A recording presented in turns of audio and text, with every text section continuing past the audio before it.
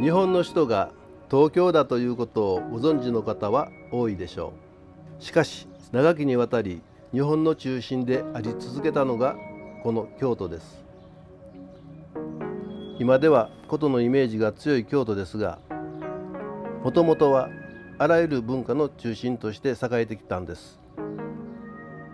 その後政治の中心が東京に移ると海外からの文化を取り入れ急速に近代化を続ける東京に対して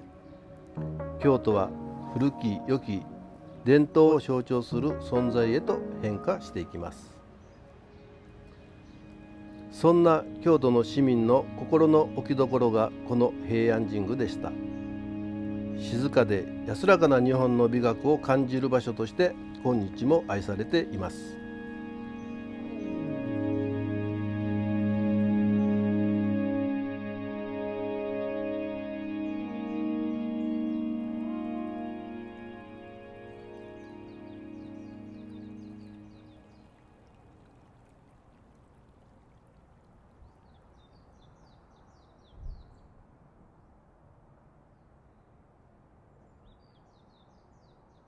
茶道もまた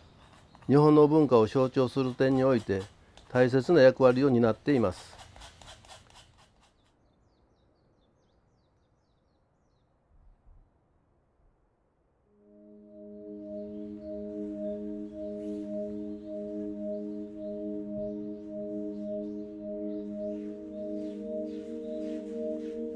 もともとはお茶の文化は中国から渡来したものですが今日の茶道の真の父と言えるのは千の利休という人物です千の利休は作法手順道具茶室のしつらえ庭の造営などあらゆる面において日本的な視点から茶の湯を再定義しましたその結果彼は茶道を完成させ芸術の域にまで高めることに成功しました。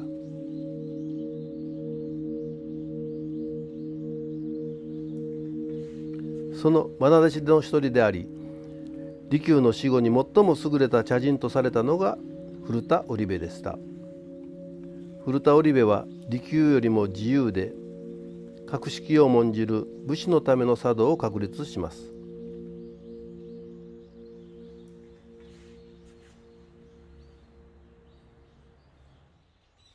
しかし政治に深く関わったことから時の将軍徳川家康から切腹を命ぜられ織部流は途絶えることとなってしまいます。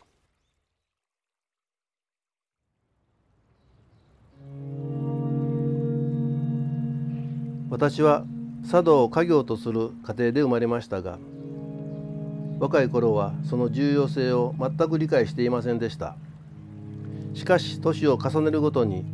茶道が文化的な重要な役割を担っていると感じるようになりました。私の名前は尾崎米博。オリベリウス派の4代目の家元です。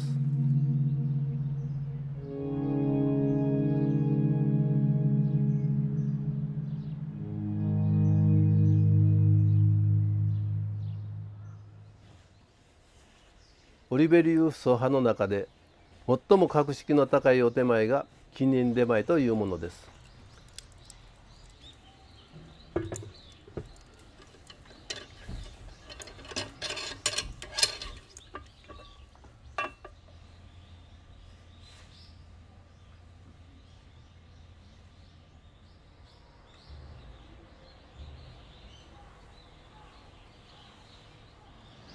どうぞお菓子の方お取り上げいただきますように。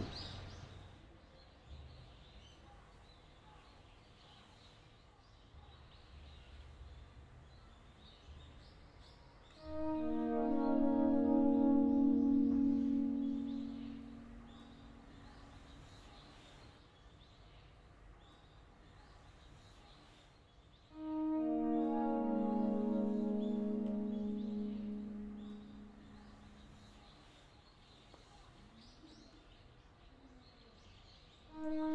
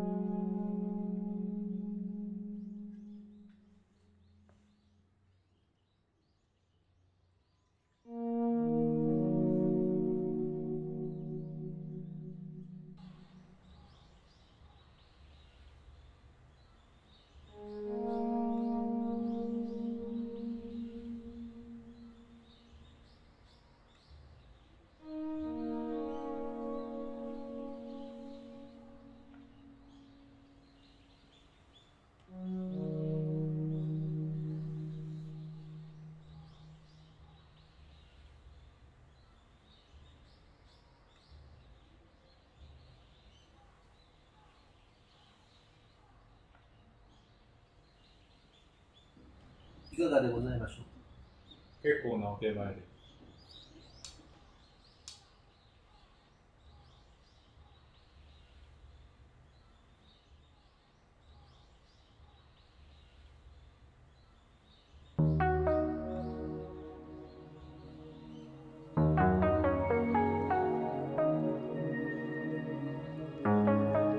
茶道はただお茶を飲むだけのものではありません茶道とは日本の美学でありおもてなしの心でありお客様と真の心のつながりを築くためのものですそして何より日本の総合文化として焼き物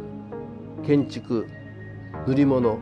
そういった高い技術が茶道によって今現在にまで継承され守られているのです。